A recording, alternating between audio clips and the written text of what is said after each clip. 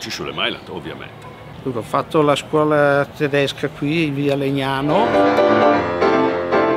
Dal kindergarten all'abitur direi dal 58 al 72. Dal 1969 al 1982. Una scimmia. un animale accogliente, un animale un po' dolce, forse un panda, un orsacchiotto, qualcosa di, con cui si sta bene vicino. E sono venditore. Adesso pensionato. Ja, äh, viele Kontakte, äh, für mich der Bezugspunkt Mailand. Ich denke, ich hätte die Stadt nie so wahrgenommen, wenn ich nicht wirklich 19 Jahre lang jeden Tag hier gewesen wäre. Denkvermögen, Analyse. È un metodo di studio e un certo ordine mentale. Ma l'apertura mentale soprattutto e la curiosità. Professore Marianne Much, la mia professoressa nella Ghedrai. Arturo Raiman, siamo cresciuti insieme.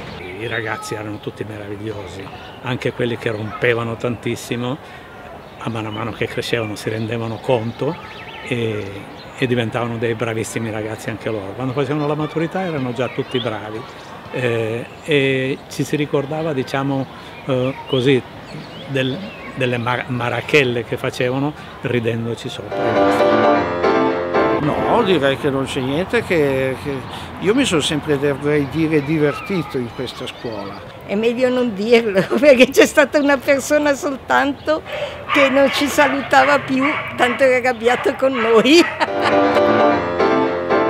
A tutti, a tutti i miei compagni abbiamo passato degli anni bellissimi insieme e li voglio salutare tutti.